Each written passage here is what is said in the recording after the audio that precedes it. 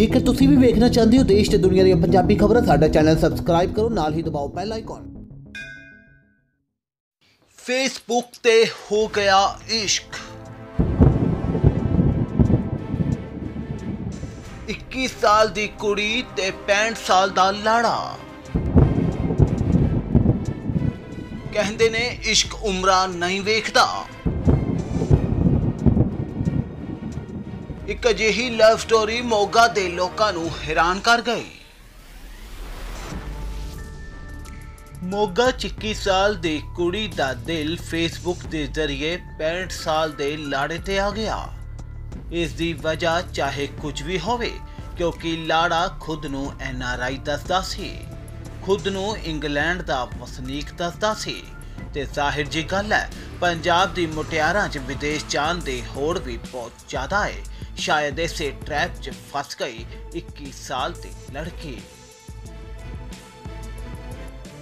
ਦੱਸਿਆ ਜਾਂਦਾ ਹੈ ਕਿ ਉਹ ਲਾੜਾ 3 ਮਹੀਨੇ ਪਹਿਲੇ ਇੱਥੇ ਆ ਗਿਆ ਆ ਕੇ ਉਸਨੇ ਵਿਆਹ ਕਰਵਾ ਲਿਆ ਤੇ ਉਹ ਪੇਕਿਆਂ ਦੇ ਘਰ ਹੀ ਰਹਿ ਰਿਹਾ ਸੀ ਯਾਨੀ ਕਿ ਲੜਕੀ ਦੇ ਮਾਂ ਭੈਣ ਤੇ ਪਰਜਾਈ ਦੇ ਨਾਲ ਹੀ ਉਹਨਾਂ ਦੇ ਘਰ ਦੇ ਵਿੱਚ ਰਹਿ ਰਿਹਾ ਸੀ ਇਸ ਦੌਰਾਨ ਲੜਕੀ ਜਦ ਇੰਗਲੈਂਡ ਜਾਣ ਦੀ ਜਿੱਦ ਕਰਨ ਲੱਗ ਗਈ ਤਾਂ ਹੌਲੀ-ਹੌਲੀ ਦੋਵਾਂ 'ਚ ਝਗੜੇ ਹੋਣੇ ਸ਼ੁਰੂ ਹੋ ਗਏ।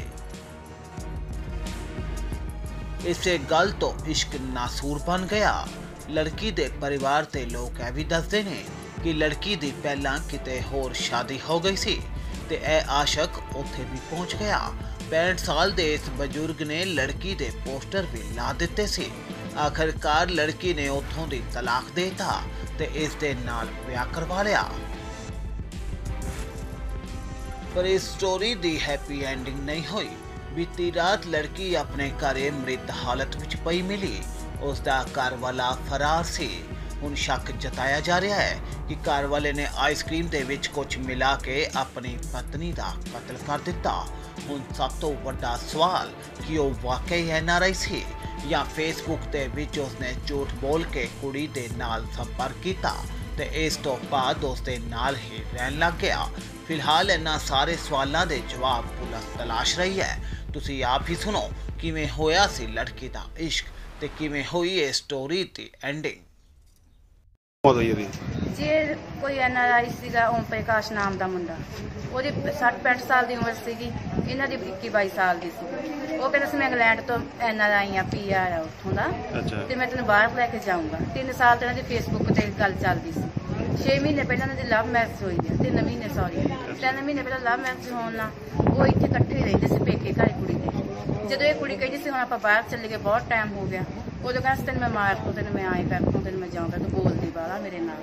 ਤੇ ਜੀ ਅੱਜ ਹੋਏ ਕੰਮ ਕਰਕੇ ਚਲਾ ਗਿਆ ਰਾਤ 10 ਵਜੇ ਤਕਰੀਬਨ ਆਇਆ ਘਰੇ ਉਹ। ਕਿੱਥੋਂ ਦਾ ਰਹਿਣ ਵਾਲਾ ਸੀਗਾ? ਉਹ ਜੀ ਅੰਮ੍ਰਿਤਸਰ ਦੇ ਨੇੜੇ ਕਹਿੰਦਾ ਮੇਰਾ ਪਿੰਡ ਵੀਲਾ। ਤੇ ਇੱਥੇ ਹੀ ਰਹਿੰਦਾ ਸੀਗਾ ਨਾਲ ਕੁੜੀ ਦੇ? ਹਾਂਜੀ ਮੋਗਾ ਸ਼ਹਿਰ ਚ ਇੱਥੇ ਰਹਿੰਦਾ ਸੀ। ਤੇ ਰਾਤੀ ਕੁਝ ਲੈ ਕੇ ਵੀ ਆਇਆ ਸੀ? ਜਾਂ ਰਾਤੀ ਜੂਸ ਤੇ ਆਈਸਕ੍ਰੀਮ ਲੈ ਕੇ ਆਇਆ ਸੀ ਕੁੜੀ ਦੇ ਖਾਣ ਲਈ। ਤੇ ਰਾਤ ਨੂੰ ਘਰੇ ਹੋਰ ਕੌਣ ਕੌਣ ਸੀਗਾ? ਕੁੜੀ ਦੀ ਮਾਤਾ ਸੀ ਬ੍ਰਦਰ ਸੀ ਭਾਬੀ ਸੀ। ਤੇ ਕਿਵੇਂ ਲੱਗ ਰਿਹਾ ਕਿਵੇਂ ਮਾਰਿਆ ਇਹਨੂੰ? ਜੀ ਸਾਨੂੰ ਤਾਂ ਐਂ ਲੱਗਦਾ ਵੀ ਜਾਂ ਜੂਸ ਚ ਆਈਸਕ੍ਰੀਮ ਚ ਕੁਝ ਪਾ ਕੇ ਦਿੱਤਾ ਹੋਊਗਾ ਜਾਂ ਗਲ ਘੁੱਟ ਕੇ ਮਾਰ। ਤੇ ਉਹ ਕਦੋਂ ਗਿਆ ਘਰੋਂ? ਉਹਦਾ ਪਤਾ ਨਹੀਂ ਸੀ ਕਦੋਂ ਰਾਤ ਨੂੰ ਚਲਾ ਗਿਆ। ਰਾਤੀ ਚਲਾ ਗਿਆ। ਹਾਂਜੀ। ਅੱਛਾ ਕੋਈ ਪੋਸਟਰ ਵਗੈਰਾ ਵੀ ਲਗਾਏ ਸੀ ਇਹਨੇ ਪਹਿਲਾਂ ਕੋਈ? ਹਾਂਜੀ ਪੋਸਟਰ ਲਗਾਏ ਸੀ ਕੁੜੀ ਦੇ। ਕਾਦੇ ਪੋਸਟਰ ਲਗਾਏ ਸੀ? ਕਿ ਇਹ ਬਲੈਕਮੇਲ ਕਰਦਾ ਸੀਗਾ ਵੀ ਅਹ ਅਸੀਂ ਪਹਿਲਾਂ ਮੈਰਿਜ ਇਹਦੀ ਹੋ ਗਈ ਸੀ ਪਿੰਡ ਜਗਰਾਂ ਵਿੱਚ।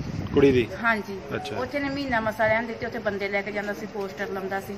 ਕਹਿੰਦਾ ਸੀ ਇਹਨੂੰ ਤਲਾਕ ਦੇ ਕੇ ਤੂੰ ਮੇਰੇ ਆ ਮੇਰੇ ਅੱਛਾ। ਨਾਲ ਵਿਆਹ ਕਰਵਾ। ਤੈਨੂੰ ਮੈਂ ਬਾਹਰ ਲੈ ਕੇ ਜਾਊਂਗਾ ਤੈਨੂੰ ਮੈਂ ਆਏ ਕਰੂੰਗਾ। ਜੀ ਕੁੜੀ ਨੇ ਉੱਥੇ ਤਲਾਕ ਦੇ ਕੇ ਉਸ ਮੁੰਡੇ ਨੂੰ ਇਹਦੇ ਨਾਲ ਵਿਆਹ ਕਰਵਾ ਲਿਆ। ਤੇ ਕੁੜੀ ਪੜੀ ਵੀ ਹੈ ਨਹੀਂ ਜੀ ਪੰਜ ਕੀ ਪੜੀ ਵੀ ਹੈ। ਫੇਸਬੁੱਕ ਤੇ ਦੋਸਤੀ ਹੋਈ ਸੀ? ਹਾਂਜੀ ਫੇਸਬੁੱਕ।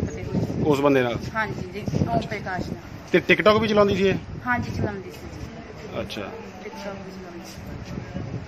ਪਰਿਵਾਰ ਦੇ ਵਿੱਚ ਰਾਤ ਲੜਕੀ ਦਾ ਇੱਕ ਭਰਾ ਭਰਜਾਈ ਸੀ ਘਰ ਇਹਦੀ ਮਦਰ ਸੀ ਤੇ ਦੋਨੇ ਇਹ ਤੇ ਹਸਬੰਡ ਵਾਈਫ ਵੱਖਰੇ ਕਮਰੇ ਸੀ। ਸਵੇਰੇ ਇਹਨਾਂ ਨੂੰ ਉਹਦੀ ਮੌਤ ਦਾ ਪਤਾ ਲੱਗਿਆ। ਹਸਬੰਡ ਸਰ ਪਤਾ ਲੱਗਾ ਕਿੱਥੇ ਹੈ ਜੀ? ਨਹੀਂ।